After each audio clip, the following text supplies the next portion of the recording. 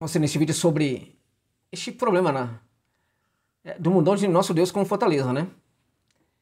Esse problema com Fortaleza, a Comebol vetou o Castelão para os próximos encontros aí do, do Lion pelo torneio sul-americano, ok? É, fala uma série de coisas e vamos tentar jogar um pouco de luz sobre essa discussão, né? Ah, vamos tentar deixar um pouco a paixão de lado mas se você não conseguir fazer, tudo bem, você está na sua porque você é torcedor. Mas ao mesmo tempo, é, não tem como a gente não concluir que de fato isso é muito em, em função de que o Fortaleza hoje é um clube que incomoda, né? Certamente que é. Então vamos lá, vamos tocar essa, essa reflexão aqui que eu acho que é bem relevante. Olha, é, o documento ali, no documento é, curioso, né? Porque é depois do, da vitória contra o Boca Juniors, né? Também eu acho que aí a gente tem que colocar é, um pouco a nossa reflexão. Foi uma goleada histórica contra o Boca Juniors, foi uma, uma humilhação, né? Foi o, um debate muito interessante entre um projeto de futebol uh, progressivo, a despeito de todos os problemas que a gente possa ver, é um projeto extremamente progressivo, né? Moderno, interessante esse do Fortaleza, contra um projeto antiquado, derrotado né, do, do Boca Juniors. Foi uma vitória histórica né, que mostra para a América do Sul né, o tamanho do Fortaleza. A repercussão é muito forte na Argentina.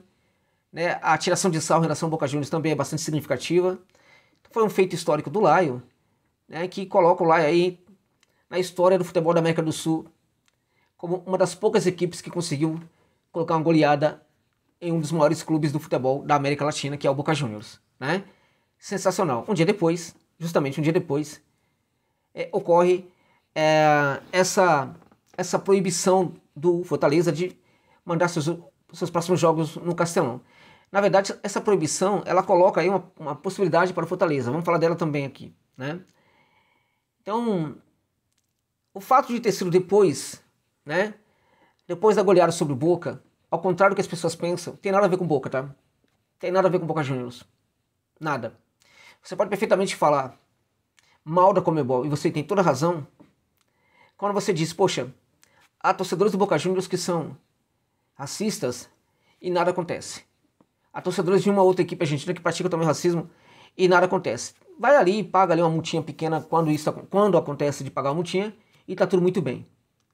Né? Então esse tipo de, é, de crime é muito grave e a Comebol deveria realmente é, fazer alguma coisa a respeito. Não vai fazer.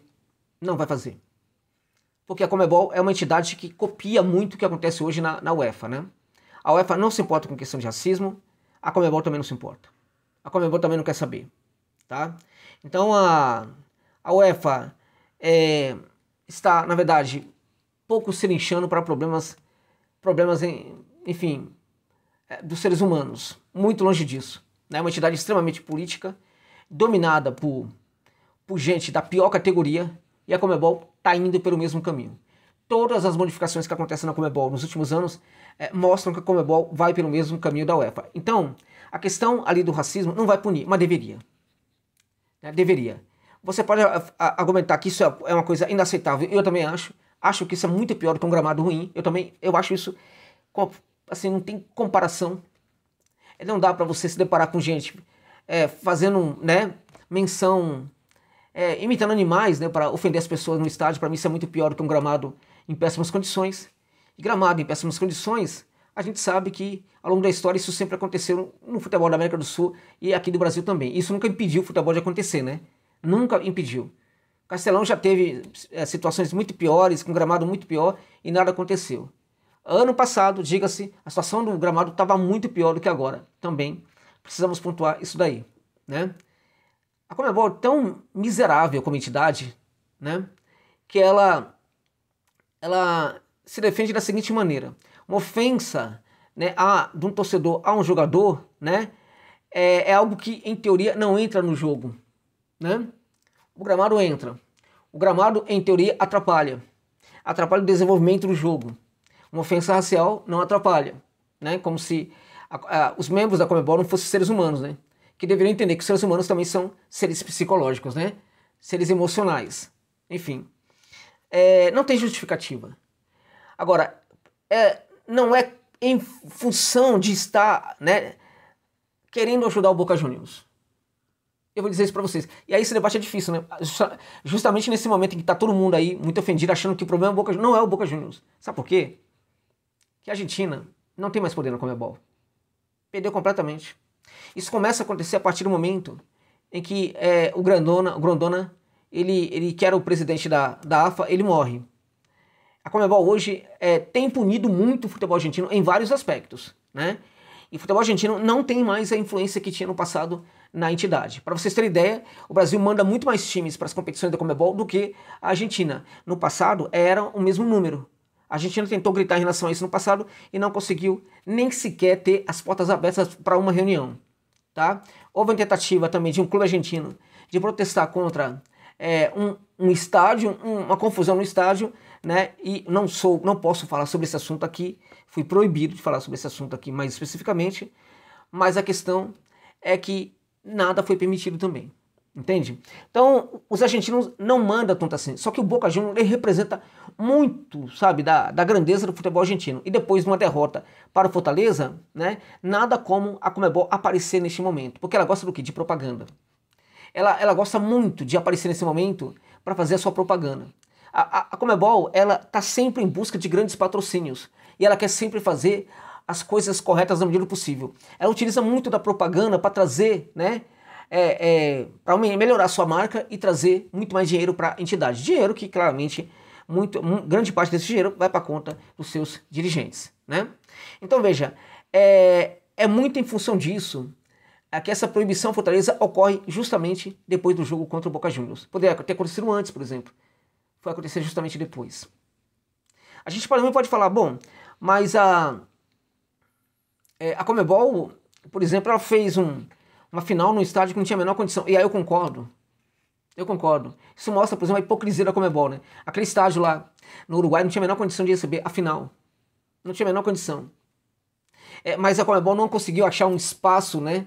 É, muito mais razoável naquele momento para fazer a final. Então fez ali naquele lugar que era um estádio inapropriado. Em função de ter feito a final da Copa num estádio inapropriado, jamais deveria se portar tanto com algumas questões, com alguns problemas, né? Mas é, é, é lamentável, é, é, é, assim, é uma violência. Vou deixar claro para você, tá?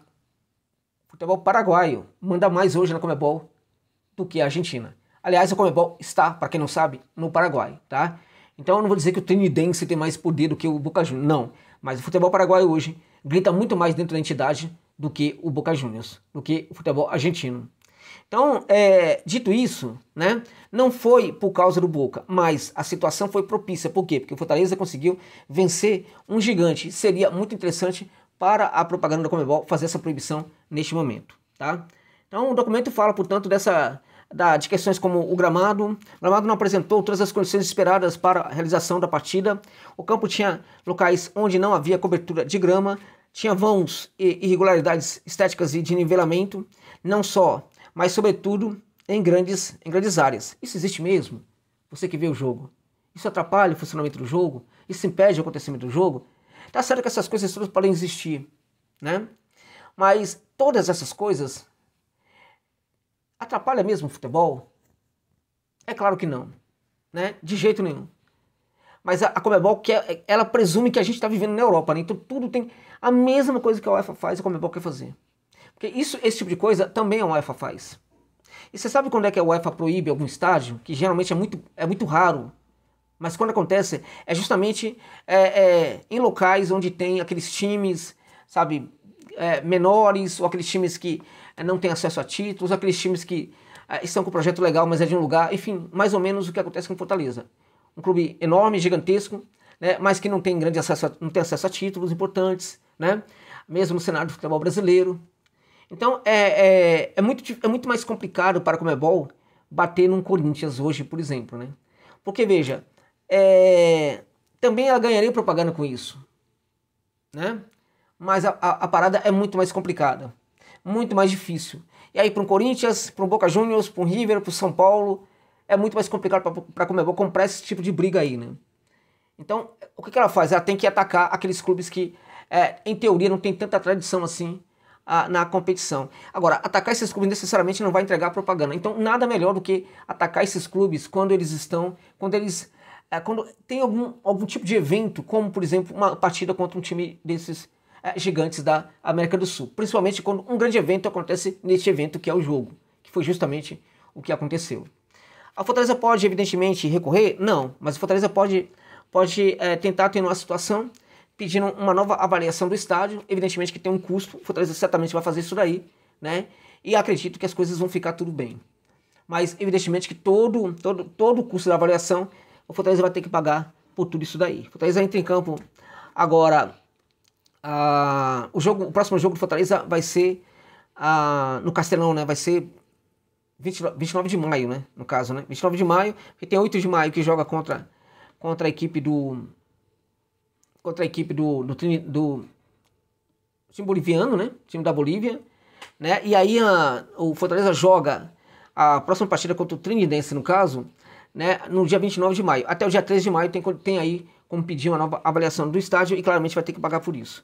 É uma violência, é uma é, é indigno. Agora isso acontece muito em, em, função de que o Fortaleza incomoda, incomoda muito, né? Demais, né? Dá pra gente conseguir terminar essa reflexão desse jeito, né? O Boca não é santo e é odiável hoje o que é o Boca Juniors em vários aspectos. Eu aqui não defendo o Boca Juniors de jeito nenhum. Aliás, eu sou um defensor do futebol brasileiro, tá? Ok? E Fortaleza, para mim, tá acima de tudo aí nessa questão, por exemplo, do que envolve qualquer time da América do Sul. Não dá. Não, não dá. Fortaleza é Brasil para mim contra qualquer time da América do Sul. E Fortaleza também é o Fortaleza, tem isso também. Aqui no contexto do futebol brasileiro, Fortaleza é o Fortaleza. O que não é pouca coisa. Né? Então, para mim, tá, tá aqui, ó. Tá, tem um lugarzinho aqui no, no meu coração para Fortaleza também, tá? Mas vamos só melhorar o discurso. O Boca Juniors, gente, é aquela porqueira lá. Fortaleza ganhou, goleou, pode golear de novo. Ou pode ganhar de novo. Pode ganhar fora de casa também. Desse time aí. Entende? Esse time, na verdade, ele não, não influenciou a Comebol para tomar essa atitude. Né? Não influenciou. E é lamentável que a Comebol não possa fazer nada contra esse time, contra, ele, contra esse clube, quando os seus torcedores fazem o que, o que fazem.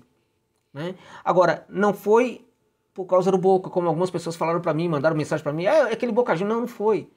Não foi. Foi porque a Comebol, na verdade, usou, inclusive o Boca Juniors, nesse caso aí, para se dar muito bem. E claramente, se tiver uma variação ali, né, a, o Fortaleza vai ter que pagar. E essa grana, evidentemente, que vai para os cofres né, dos dirigentes da, da Comebol. Tá bom, gente? O Laio tá acima de tudo isso. Vai passar por cima de tudo isso. Eu sei que você tá bravo, tá com raiva e tal. Mas vai jogar no Castelão, vai lotar o Castelão, você vai poder assistir o jogo no Castelão, sem nenhum problema. É, infelizmente tem essa questão, vai ter que pagar um pouquinho, vai ter que colocar dinheiro na grana, na, na conta desse bando de bandido, né? Mas infelizmente não tem muito o que fazer. No mais, fique tranquilo, está tudo muito bem. E lá eu caminho agora né, com, a passos largos para conseguir sua classificação à próxima fase da Copa Sul-Americana. Tá bom, gente? É isso.